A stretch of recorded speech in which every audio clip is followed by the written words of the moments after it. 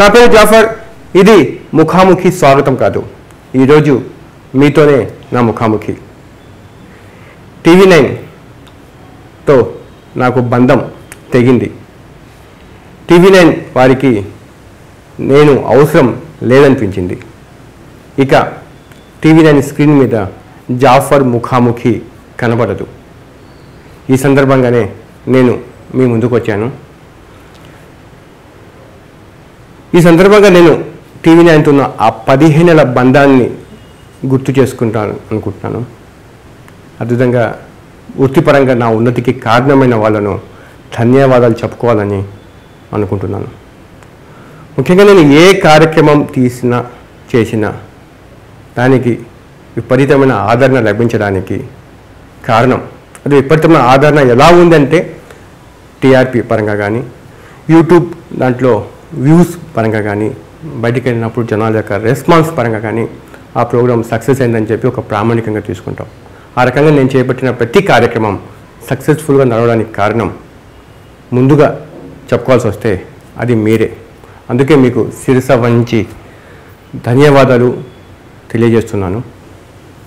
అదేవిధంగా ఈ ఫిఫ్టీన్ ఇయర్స్లో నాకు సహకరించిన వాళ్ళకు పేరు పేరున వాళ్ళకు కృతజ్ఞతలు తెలియజేస్తున్నాను.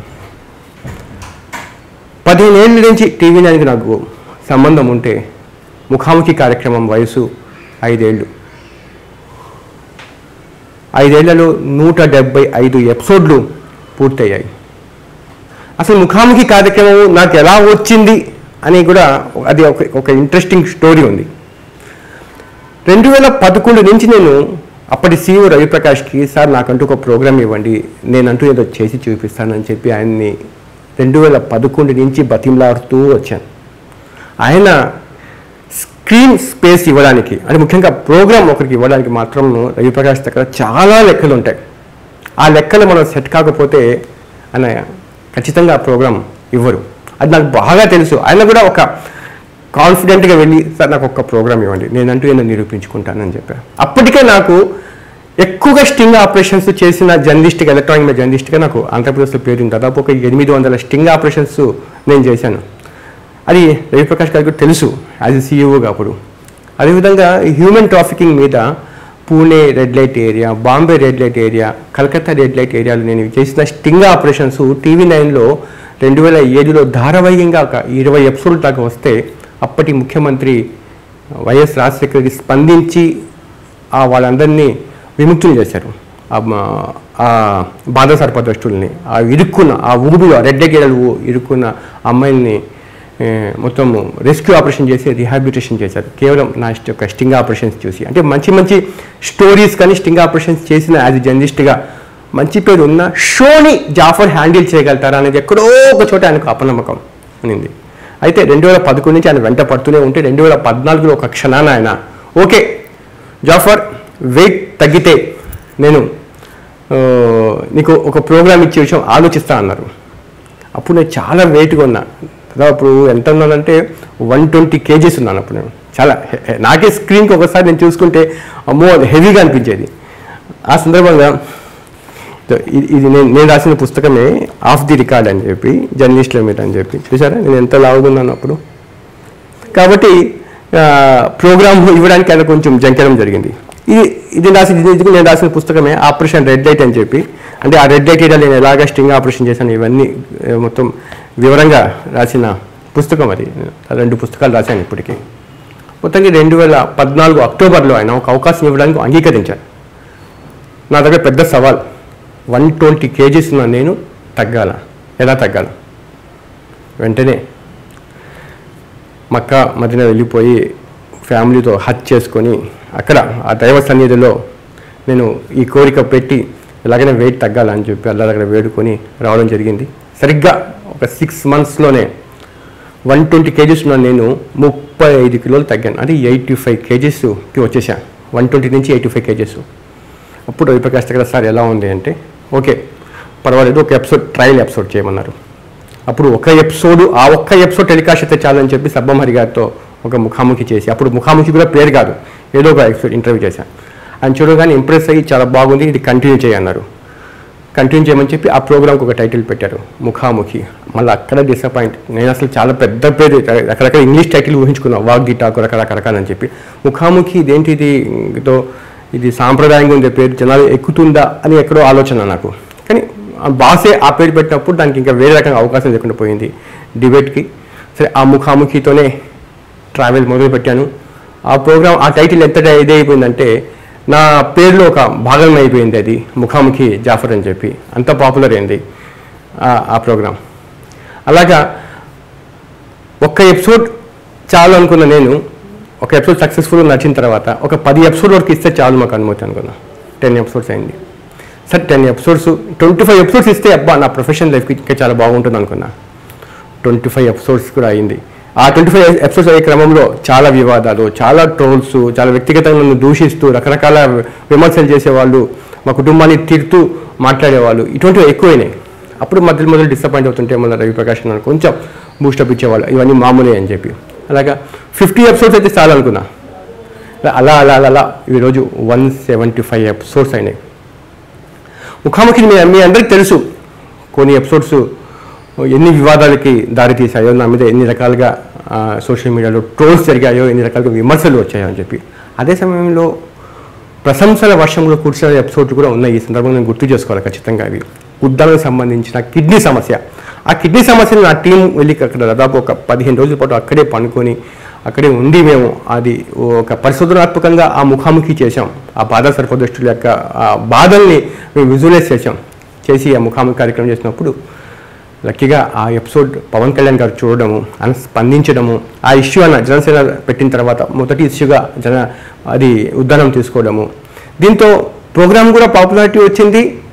పైగా ఆ సమస్యకు ఒక పరిష్కారం దిశగా కొన్ని అడుగులు ఎత్తిపెట్టాయి. పూర్తిగా ఆ సమస్యకు పరిష్కారం దొరికిందని నేను అనుకోను కానీ ఒక సెంట్రల్ నుంచి ఒక ఇన్స్టిట్యూట్ తీసుకున్నారు స్టేట్ గవర్నమెంట్ నుంచి ఒక ఇన్స్టిట్యూట్ తీసుకున్నారు.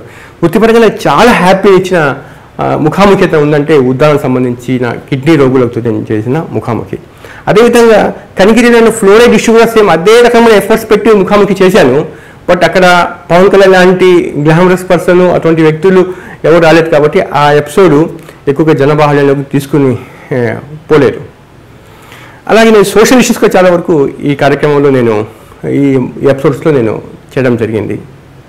అదేవిధంగా నేను ధన్యవాదాలు చెప్పుకోవాల్సి వస్తే ఇంకొంతమంది చెప్పుకోవాలి? వాళ్ళు ఎవరంటే నా ఎపిసోడ్కు వచ్చిన అతిథులకు. అవునండి. ఏమండి?